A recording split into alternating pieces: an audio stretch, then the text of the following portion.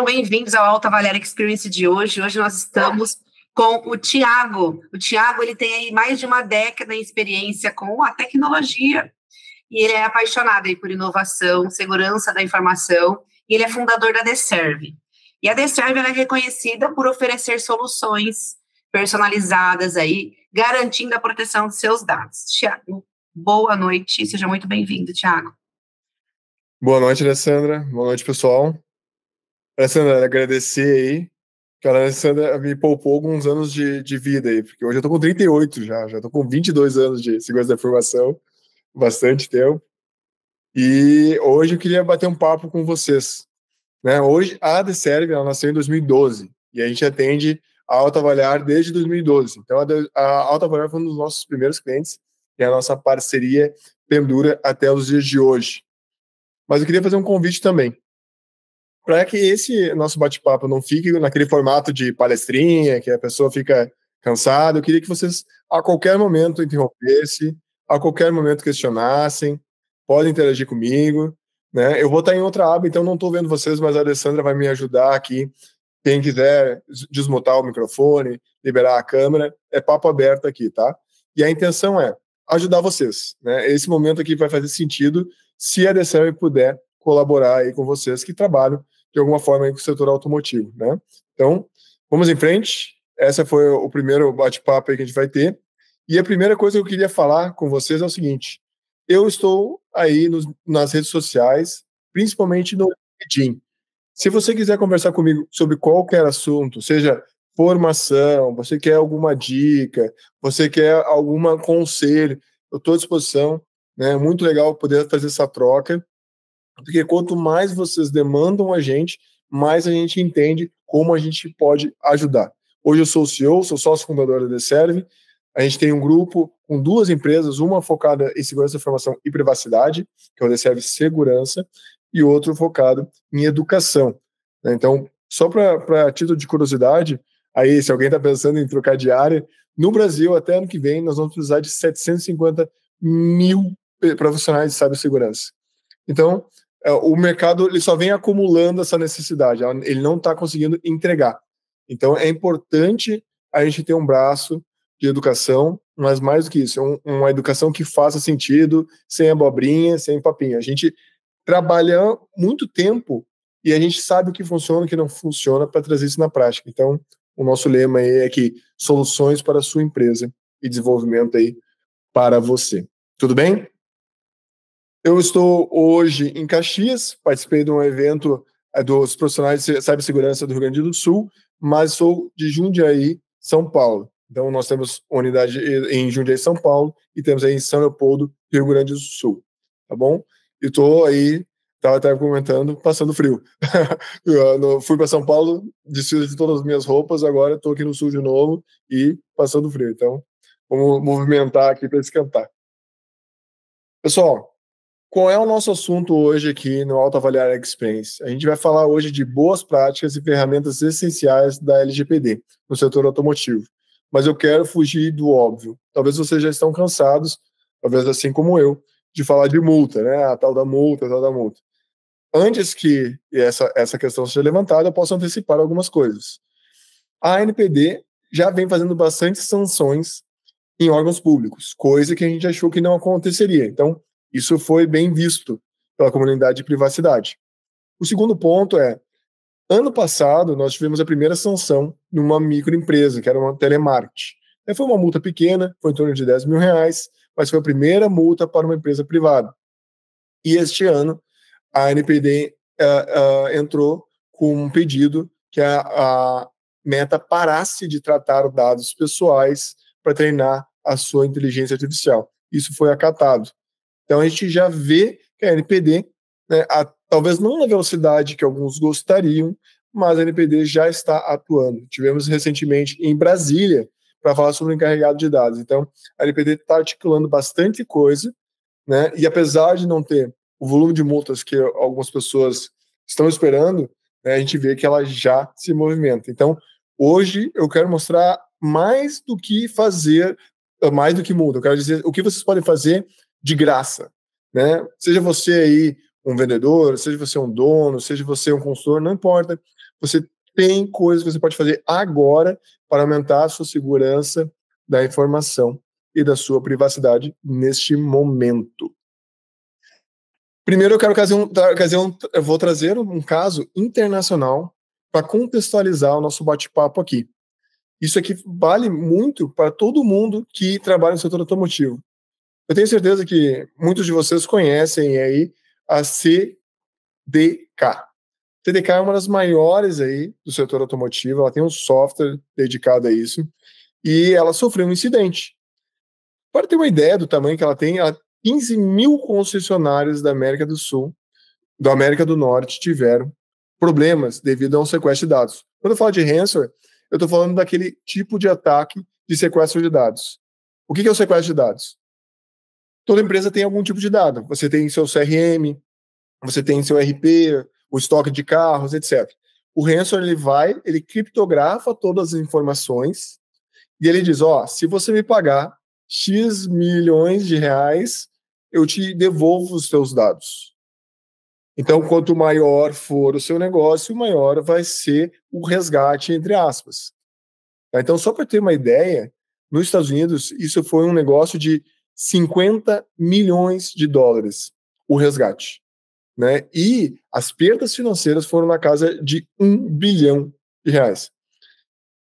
Talvez, talvez é, é importante ressaltar que o cybercrime hoje, se juntassem todo as suas receitas financeiras através desse tipo de golpe, seria o terceiro maior país do mundo em termos de faturamento. Então, pensa, os Estados Unidos em primeiro lugar, a China em segundo lugar e uma, uma empresa, vamos chamar assim, ou um grupo hacker que seria o terceiro PIB do mundo. Eles, eles estão fazendo muito dinheiro, né? Os cybercriminosos estão fazendo muito dinheiro com esse tipo de ataque. É, nesse caso aqui são vários grupos, mas nesse caso aqui que eu estou falando foi o grupo Black Switch. Tem outros, é, outros tantos, mas esse aqui é um dos grandes também.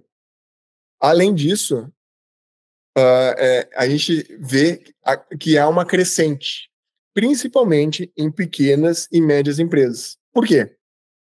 Porque os atacantes começaram a descobrir o seguinte: a empresa grande, a empresa grande já tem algum controle já tem alguma política de segurança de informação, já tem alguma privacidade. Mas a empresa pequena ou média, essa tem muito pouco. E o que, que, vai acontecer? É mais fácil ir no, no, sentido que tem menos resistência. Os atacantes preferem aquelas empresas que têm menos resistência. Então eles vão lá e até atacam uma série de empresas de uma única vez, né? E depois disso sequestram os dados e se uma ou duas pagarem, tá ótimo. Porque o, o custo deles é zero. Qualquer uma que pague o resgate está ótimo. E eu estava conversando com um outro consultor, a nossa posição como The Server é dizer, nunca paguem o sequestrador. Mas o, o, um consultor falou uma coisa interessante. Eventualmente, nas empresas que ele atende, ele sugere que pague. Por quê? Porque existe um, um código de ética lá entre os sequestradores. Porque se eles começam a não devolver os dados depois de pagar o resgate, eles caem em descrédito.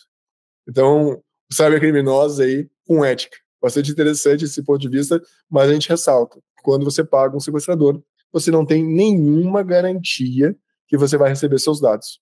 Beleza? Então, se isso acontecer com alguém que você conheça, não pague. Essa é a nossa recomendação. Né? Procure um profissional, a DCF pode ajudar, outras empresas também podem ajudar. Beleza? Isso nós estamos falando aí de mundo, né? Estados Unidos. E o nosso Brasilzão, como é que fica? Vamos falar um pouquinho dele também. Hoje, aqui no Brasil, é crescente o número de incidentes de segurança. Esse relatório aqui do IBRAS PD está atualizado até março desse ano. Então, eu, a gente ainda não tem a versão mais atual dele, tá? Mas até março desse ano, olha só a quantidade de incidentes que teve. Foi Câmara dos Deputados que teve incidente, foi o governo do Pará, foi o TRE. Percebe que o, por que, que os atacantes eles gostam aí? Deixa eu apagar a, a borracha. Por que, que será que os atacantes gostam de governo? Eu respondo: o nosso governo hoje brasileiro ele é muito centralizador, tem todos os nossos dados. Né? Até algumas coisas inexplicáveis. Por que, que a gente precisa ter CPF, RG, PIS, um monte de número. Por que a gente tem esse monte de número? Podia ser um número só que centralizasse. Podia ser só CPF em tudo. Né? Mas não, a gente tem tudo lá. Tem agora tu cadastra biometria facial e agora o governo.gov.br, quem entra lá e quanto mais informação tu der para o governo, melhor é o teu ranking de acordo com ele. Então, imagina para um cybercriminoso que quer roubar dados. É fantástico. É uma mina de ouro. Mas não só. Né? A gente está falando aqui de empresas privadas também. Né? Por exemplo, a gente está falando do Palmeiras. Não sei quem é palmeirense aí, né? Eu sou gremista. E a gente empatou recentemente com o Corinthians. Lá em Jundiaí todo mundo é corintiano. Impressionante. Então, Palmeiras se deu mal nessa história. Teve um ataque em março. A Unimed teve problemas também. Perceba que são várias, várias empresas, só que tem uma que talvez vocês não conheçam porque é um setor diferente, mas é uma grande empresa de tecnologia, a Stefanini. A Stefanini é uma das grandes de tecnologia, de terceirização de serviço, é uma referência para a DSEV e para muitas outras, e ela também sofreu um ataque. Por quê? Porque os ataques estão sendo cada vez mais sofisticados. Está cada vez mais difícil de fazer aí a, a, redução do risco. E o que, que a gente tem que fazer? Tem que se preocupar aí com políticas, com governança, com controle. Então, aquela empresa que está esperando a multa da LGPD para tomar alguma medida, essa empresa já está atrasada hoje. Se ela vai esperar, vai ter um colateral. Talvez não só a multa da LGPD, também um vazamento de dados. Tudo bem até aqui? Sim. Vamos em frente, então. O que, que é mais importante a gente ressaltar aqui do nosso cenário? Hoje, o Brasil ele é o nono país com maior investimento em tecnologia. Se vocês podem ver aqui nesse nosso mapa aqui, ele está colado com o Canadá, um país de primeiro mundo, por exemplo. Né? A Índia, um dos países mais populosos do mundo, está lá em sétimo. Então a gente está muito próximo deles. Então a quantidade de investimento em tecnologia é muito grande, é muito significativo o valor. E isso tem um problema, porque quando, como a gente é um, é um mercado que investe muito em tecnologia, mas tem pouca cultura em cibersegurança e privacidade, o que, que acaba acontecendo? Acaba acontecendo aquilo que eu falei no nosso início, no nosso bate-papo. Gente se torna um alvo fácil. Né? É, é o alvo ideal, na verdade. É um alvo que tem muito a perder, mas não tem nenhuma preocupação. Esse relatório é do IDC, é um dos grandes empresas de relatório em tecnologia do mundo e está atualizado em fevereiro de 2024. Então é um dado bem atual. Então não é como se a gente não tivesse tecnologia. Sim, a gente tem tecnologia, só que a gente não protege.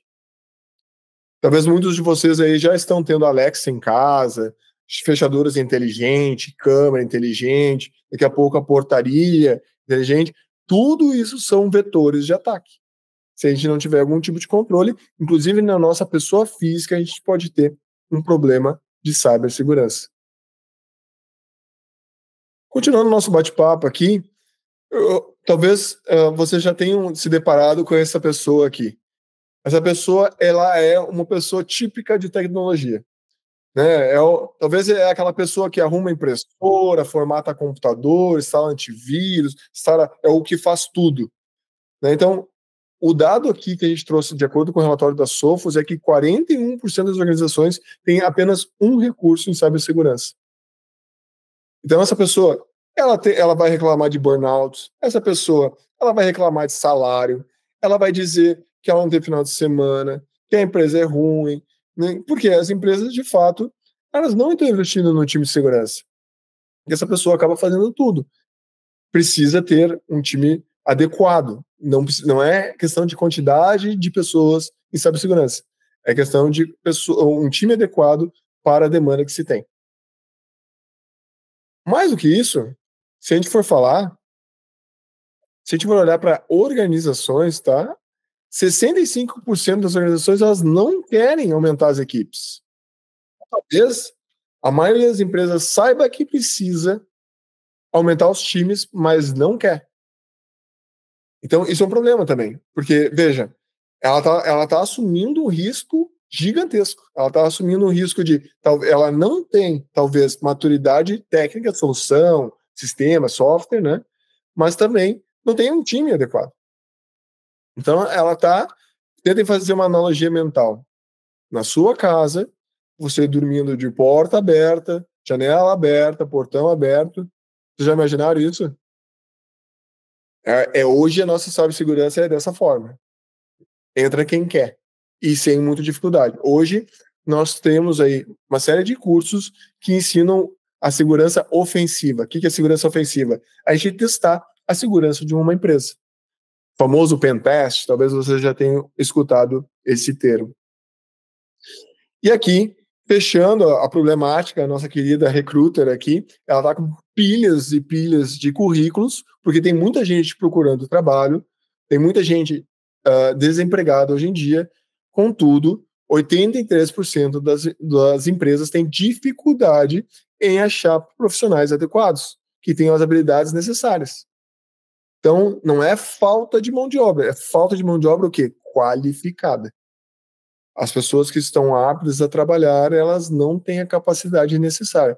E aí é uma escolha difícil. Por quê? Porque se a empresa opta por contratar um recurso sem a qualificação necessária, ela vai ser obrigada a treinar. E a curva de aprendizado vai ser grande. E, e não acontece nenhuma nem duas vezes. A pessoa entra júnior, a empresa treina e, essa, e outra empresa paga um pouquinho mais, essa pessoa sai. Então, é um cenário caótico, sem dúvida nenhuma. Né? Então, isso tudo para apontar para vocês que vocês que estão me ouvindo aí, não interessa a área que vocês estão. Depois a gente pode bater um papo, eu quero saber até um pouco mais da, da, das empresas de vocês, o que vocês fazem, mas vocês são o primeiro vetor de segurança da informação. O que, eu quero dizer com isso?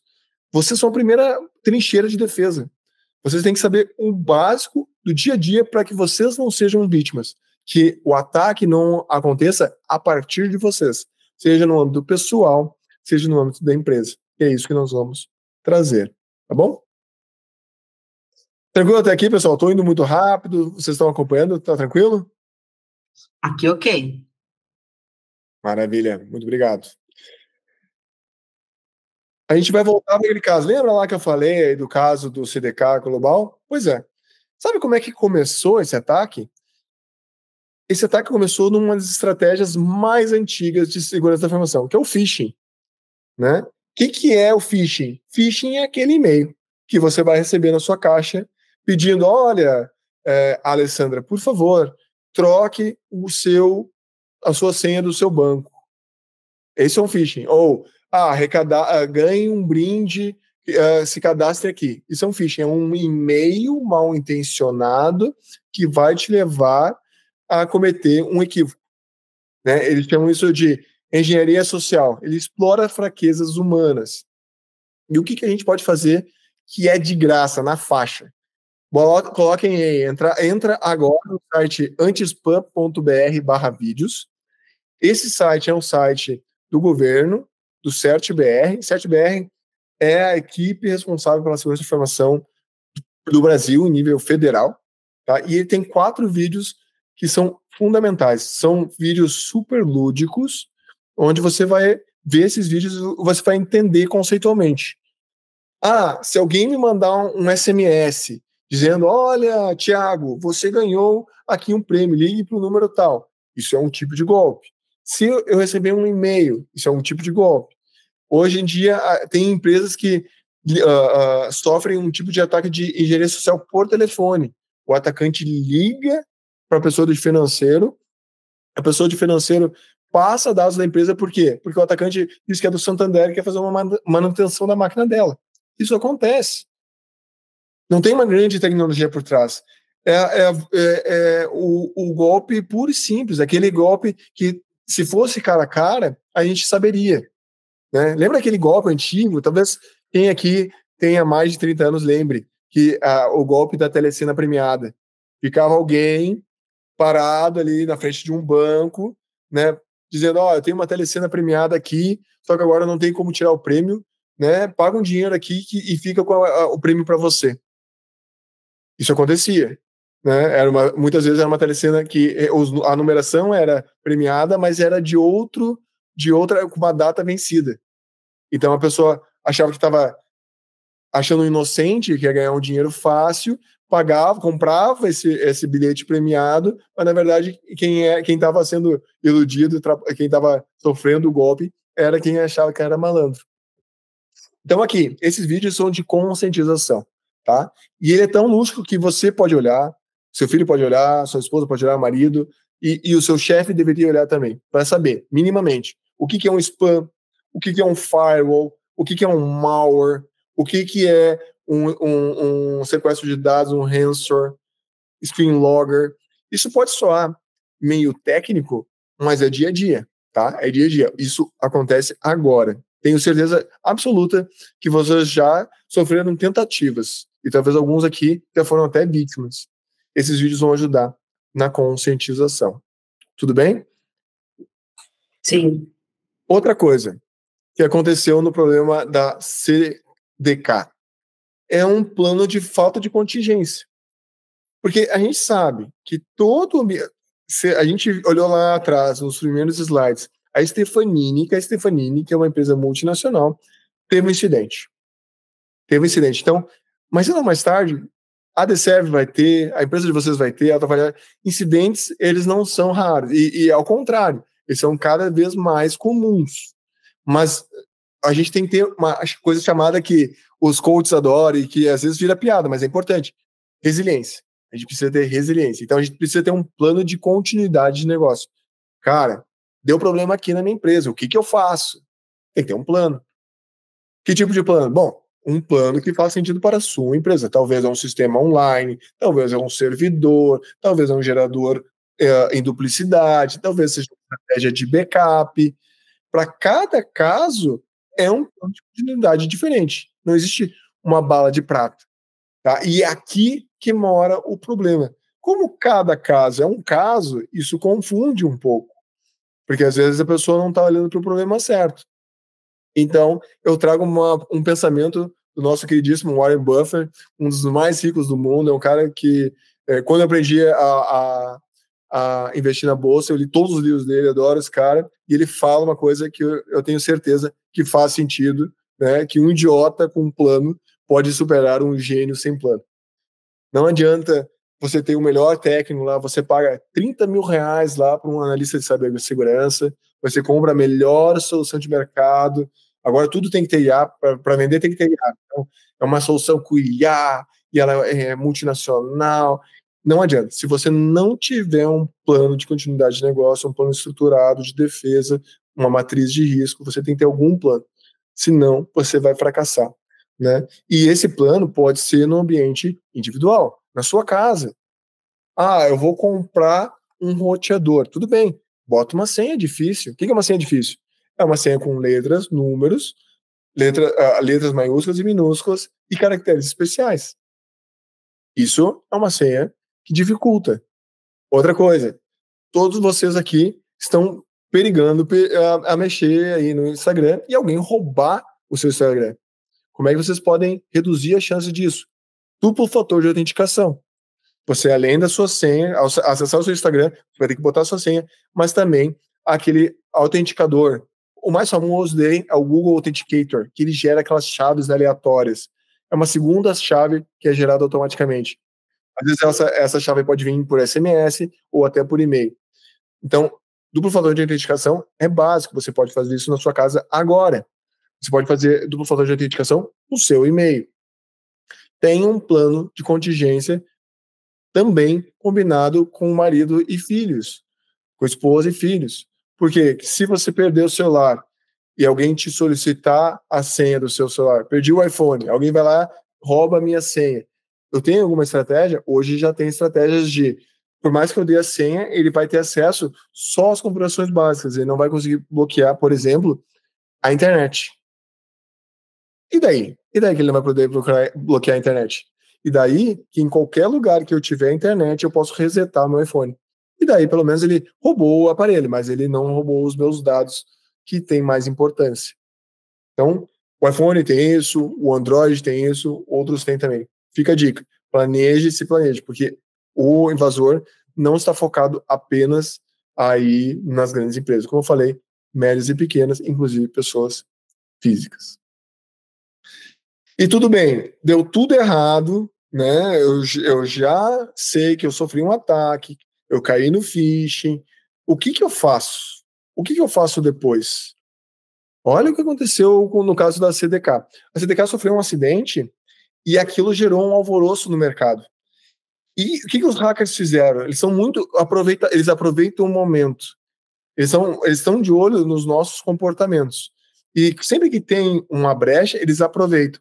Porque eles começaram a se passar como a CDK. Porque como tinha muitas concessionárias que foram prejudicadas, eles começaram a se passar pela CDK. Levando ainda mais dinheiro, porque eles, é não só eles prejudicaram a CDK, mas também como eh, prejudicaram concessionárias. Então a gente tem que ter aí um plano para pós esse incidente. O que acontece? Será que o CEO vai na mídia, o CEO faz uma live, faz um post no X, antigo Instagram, antigo, desculpa, antigo uh, Twitter, né? De que forma a gente vai agir se der uma M, né? A gente tem que saber, a gente tem que ter algum plano. Lembra? Qualquer plano é melhor que nenhum plano. A gente precisa ter algum plano. Se der algum incidente, o que, que eu faço pós o incidente? Tudo bem? Pergunta simples. Quantos de vocês aí calibram o STEP? É uma pergunta. Isso é um, isso é um plano de continuidade de negócio. Você, se o seu pneu furar, você tem que ter o, o, o pneu calibrado lá para substituir. E se você não tiver como uh, trocar o pneu, se for alguns modelos de carro, né, principalmente carros mais é, de alto nível, valor, de alto valor, já não tem step mais. O que acontece? Se eu bater, o que acontece? Se eu chegar atrasado, o que acontece? Se eu for roubado, o que acontece? Tem um plano. Certo? Tem, um, inclusive, uma coisa que é, eu, eu sempre estudei essa parte de segurança da informação. Mas aí, quando a gente fala de segurança da informação, as pessoas pensam o quê? Elas pensam assim, gente, esse negócio de tecnologia é chato, coisa de nerd. Mas segurança da informação também é segurança física, de coisas físicas que eu pego. Se, vo, se, você, se você pegar aqui em São Paulo uma, uma, uma um, a Marginal Pinheiros, que está completamente parada, e começar um arrastão, o que você vai fazer? O que você combinou de fazer? Vai ficar estéreo? Vai gritar? O que, que você vai fazer? Tem um combine com o seu cônjuge, combine com seus amigos, se vai der carona, combina o que vocês vão fazer. Para na hora que o incidente acontecer, vocês estão preparados. E, gente, incidente acontece. Eu estou aqui em Caxias do Sul nesse momento e a, a, o Sul, vocês devem ter visto, ele foi muito, muito judiado através de uma, um incidente que teve de enchente. Então, incidentes acontecem. E a gente, como brasileira, a gente não gosta de falar de problema, né? E, mas a verdade é que o mundo é mais duro aí do que a gente gostaria. Então, para empresas e para pessoas físicas, a gente vai falar conscientização. E conscientização não é palestrinha, né? A gente quer fazer workshops, gamificação, simulação. Alguns de vocês talvez tem, trabalhem numa empresa que tenha simulação de incêndio. Só que a simulação de incêndio, o que vai acontecer? Tem um grupo de incêndio, toca a sirene, você simula a coisa toda. Por que, que isso não acontece em cibersegurança? É exatamente a mesma coisa. A gente tem que simular casos que houve um incidente e o que a gente faz. Da mesma forma com incêndio. Por quê? Porque, às vezes, a gente não ter a conscientização atrapalha, muito ruído, muita gente, cada um falando alguma uma, uma coisa diferente. Eu não sei quem são os, os stakeholders, quem são as pessoas que, que vão estar envolvidas naquele projeto. Tá fazendo sentido, pessoal? Essa mensagem aí é a realidade de vocês? Vocês veem isso nas empresas? Pessoal, quem quiser abrir o microfone pode abrir, tá? Pode seguir então, Tiago. Maravilha. Pessoal, sei que vocês estão cansados aí, mas eu queria, o que eu, eu quero assim, ó, bater um papo com vocês que faça sentido para vocês. Então, tragam para essa discussão coisas. Aqui é um ambiente seguro, né? Ninguém vai se expor, né? E eu vou tentar sempre ajudar no sentido de melhorar a conscientização e o nível uh, de entendimento do que acontece em cibersegurança para todo mundo, certo? E agora falando uh, do último ponto aqui, dos quatro pontos que eu trouxe. A gente precisa ter mais ação. A gente vai falar aí que LGPD é importante, frameworks de segurança da informação, a gente vai falar de incidente, mas tudo isso está no âmbito da conscientização, do pensar. A gente precisa botar a mão na massa, fazer, fazer alguma coisa. Começar. Faz um, um comitê de segurança na sua empresa. Poxa, Thiago, mas a minha concessionária lá tem cinco pessoas. Então pega essas cinco pessoas e começa, marca um dia, um almoço para falar de segurança da informação. Porque vocês estão na alça de mira, vocês estão aí sob ameaça. Então comecem, façam alguma coisa agora. Né? Então o setor automotivo ele também está em risco e o setor automotivo ele é extremamente, vamos chamar assim, conservador aí na hora de pensar em cibersegurança. Quando a gente fala é que o setor automotivo a gente está muito preocupado com venda, com estoque, né? Mas não está pensando aí em cibersegurança, porque a cibersegurança pode ser aí um jeito de melhorar os seus processos e também reduzir seus custos.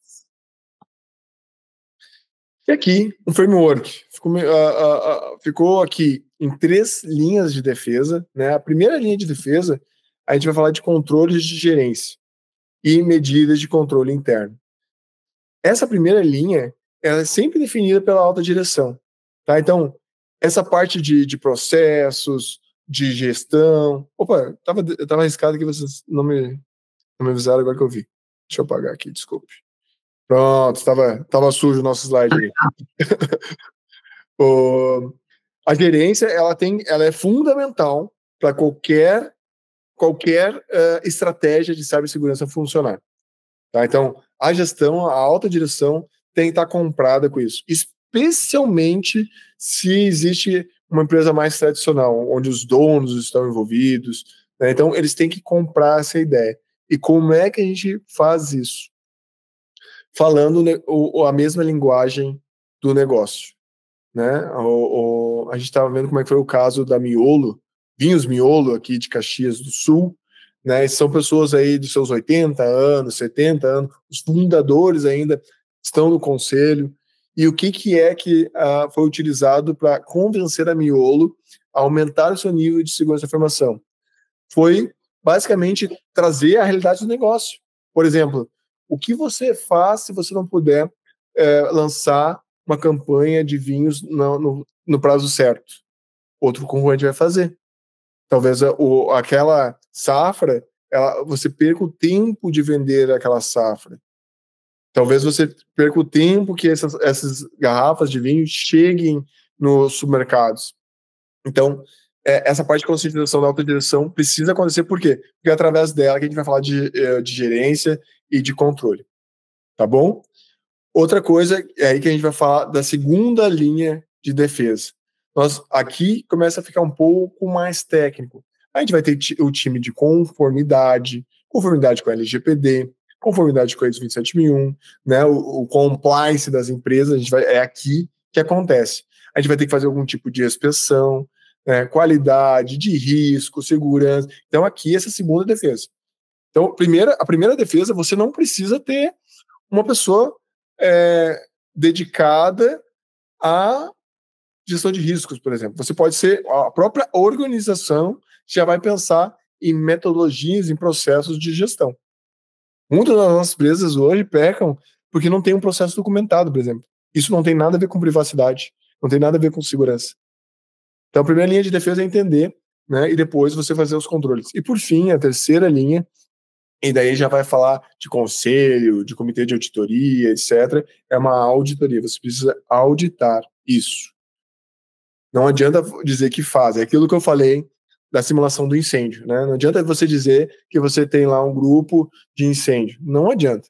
Se você não testar, não botar a prova, tocar a sirene, deixar a pessoa nervosa, tem, tem empresas maiores jogam lá a pessoa lá que tá do, do, do esqueci o termo, aquela pessoa de, da, da brigada, o pessoal da brigada de incêndio, joga lá na piscina para ver como é que a pessoa fica toda molhada, dá um jato de água nela, para quê? Ter essa vivência. Então, auditoria interna. Auditoria externa para validar se aquela estratégia está sendo boa, né, está sendo eficiente, né, está atendendo o que é planejado.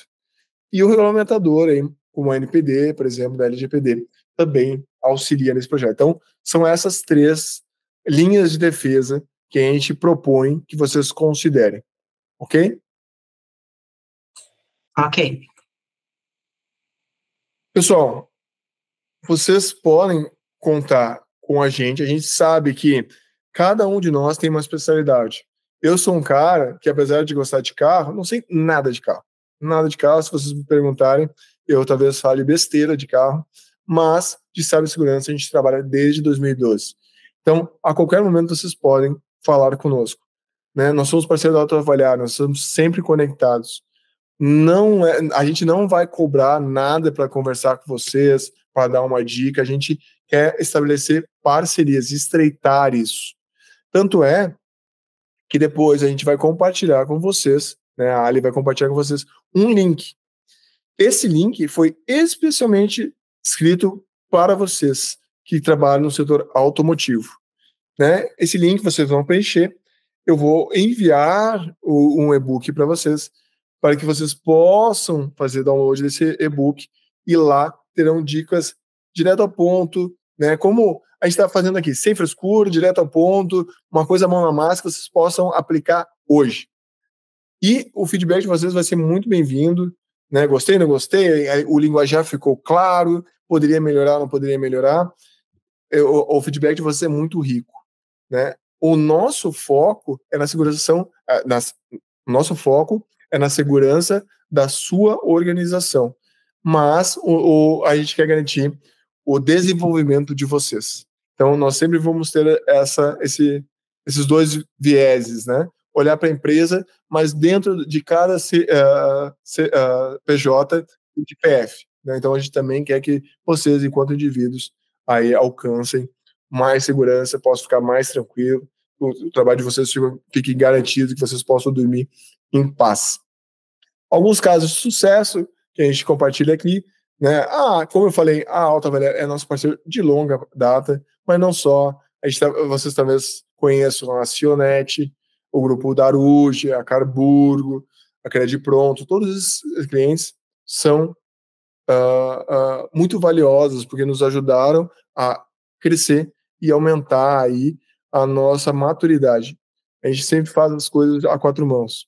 Né? Crescemos junto, junto com o nosso cliente e somos parceiro global da Sophos, especialmente, Microsoft, Lenovo, todas essas marcas, porque a gente quer entregar o que há de melhor para o nosso cliente. Tá bom? Eu fico por aqui, né? Ah, ah, o que eu queria passar para vocês é isso, mas agora eu queria abrir para a gente bater um bom papo. Se vocês tiverem alguma dúvida, algum comentário, como é que funciona na empresa de vocês? Vocês têm na empresa de vocês essa preocupação com cibersegurança? Um de cada vez. Podem, podem levantar a mãozinha, ligar o microfone. Alguém tem alguma pergunta para fazer para o Tiago? Se ninguém tiver, vou fazer, tá, Tiago? Vai ser muito bem-vindo. Oh, vou começar, então. É, o que... Me fala uma coisa, assim, que uma, uma loja poderia fazer para ter uma segurança maior. Tipo, olha, você precisa fazer isso. Ótimo, excelente. Toda loja hoje possui computadores, sem dúvida nenhuma. Hoje, o mais básico que se tem é, por exemplo, você ter um bom antivírus. Isso é a primeira coisa. Né? Além disso, se você puder ter pelo menos um, um, uma cartilha de conscientização básica, não coloque pendrive nas suas máquinas, não aceite que pessoas fora da sua concessionária, sua revenda, acessem seus dispositivos, não deixe a internet liberada, né? pequenos controles. Né? Aquilo que eu falei na na analogia da casa, né? Tu fecha a porta, tu tranca a janela, tu liga o alarme, né? tu tem essa rotina mínima de controles. Lembrar que a empresa ela é muito suscetível a receber visitas e essa visita ela pode ser uma visita mal intencionada. Porque, uh, Ali, lembrei de um caso para compartilhar contigo. que talvez faça sentido nessa analogia. Aqui no sul teve enchente, como eu já falei. E alguns lugares que estavam secos, a, o pessoal abriu para que outras pessoas que estavam sem casas pudessem ficar. E um desses foi um condomínio. Tinha um condomínio grande, né? Eles abriram esse condomínio, a parte ali de estacionamento e, e, e quadras, para a galera ficar. Pois bem, só que esse, esse condomínio tinha reconhecimento facial. A enchente acabou, as pessoas saíram, só que o condomínio não, não atualizou o cadastro de imagens. Uma pessoa, ela ficou cadastrada lá, e era uma pessoa que entrava no condomínio, roubava uma, as bicicletas e saía. Ela podia entrar e sair, porque ela tinha a, a facial dela cadastrada. E era um condomínio de classe média, um, um, condomínio bacana, com piscina, com academia, etc. Então, é, pensa, isso com certeza não foi falha disso. Eles tinham lá catraca, eles tinham lá câmeras, mas o que, que foi? Falha de processo. Como o incidente não está, o incidente enchente não estava planejado, deixaram qualquer um entrar, não fizeram um novo recadastramento e essa menina pegou, ela roubou quatro, é, quatro bicicletas antes de ser pega. Então é uma coisa bastante preocupante aí, esse comportamento uh, de não ter essa, esses processos bem definidos, né? Nossa, é, quando você falou ali da parte da internet, surgiu outra dúvida. Vamos supor, eu tenho disponibilizo, disponibilizo a internet ali para os meus clientes. Tem que ser outra internet? Como que eu faço para disponibilizar e ter essa segurança? Olha, você pode disponibilizar a internet para os seus uh, clientes, mas você precisa ter um cuidado mínimo, tá?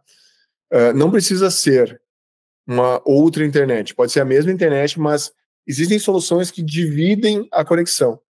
Né? Então, a sua rede interna, da sua concessionária, da sua revenda, etc., não pode ser a mesma rede do seu cliente, elas têm que ser separadas. E não só no nome, às vezes a gente vê nomes diferentes, mas as, as redes se comunicam, elas não, elas não podem nem se enxergar. Então, ou você faz isso via uma solução tecnológica, então a solução ela divide de fato as conexões, né? Ou daí você pode fazer duas, dois links de internet. Mas é, daí é um, talvez seja um desperdício de investimento, tá bom? E, assim, a galera fala muito de LGPD, LGPD, LGPD, que é muito importante, mas esquece do marco civil da internet. O marco civil da internet estabelece que a empresa ela é 100% responsável por todo o tráfego de dados que acontecer dentro da sua conexão. O que, que eu quero dizer com isso? Vamos supor exista alguém aqui que trabalha em algum lugar, numa revenda de carro, que tem uma rede de visitantes e essa rede de visitantes ela não é controlada. Chega lá, uma pessoa, um pedófilo, vai lá e ele pega, conecta nessa internet e acessa esse tipo de conteúdo de dentro da concessionária. De quem é a responsabilidade? Da concessionária. A Polícia Civil vai responsabilizar a concessionária. Então você tem que ter um controle mínimo. Se você vai disponibilizar de graça a internet, é muito legal, dar cafezinho, da internet é legal, mas você tem que ter um controle mínimo, porque alguns, certos conteúdos são crimes federais. Então, cuidado ao disponibilizar coisas de graça que você não controla. Então, fica essa dica. Boa, boa. Alguém quer fazer alguma pergunta para o Thiago? Fica à vontade aí, pessoal. Pessoal, tá no chat o nosso e-book deserve.com.br barra ebook traço LGPD. Tá no chat ali. Depois a Alessandra compartilha no WhatsApp, né? Ali. Sim, vou enviar lá no grupo também. Ah, o pessoal tá, tá mais contido, tá frio em São Paulo aí também. Né? Mas eu tô, eu me boto à disposição, olha. Se vocês quiserem bater um outro papo, se quiserem fazer uma outra rodada, quem participar aqui quiser contato comigo direto no LinkedIn, estou bastante aberto. Perfeito, obrigada. LinkedIn é Thiago Guedes Pereira. Exatamente. Maravilha. Pessoal, obrigado, boa noite, boas vendas, boas compras. Mais uma vez, Thiago, muito obrigado. Obrigado, Ari. Obrigado, Cris. Obrigado para todo mundo que participou, tá bom? Uma boa noite, boa fiquem noite. bem. Bom, com Deus. Até mais.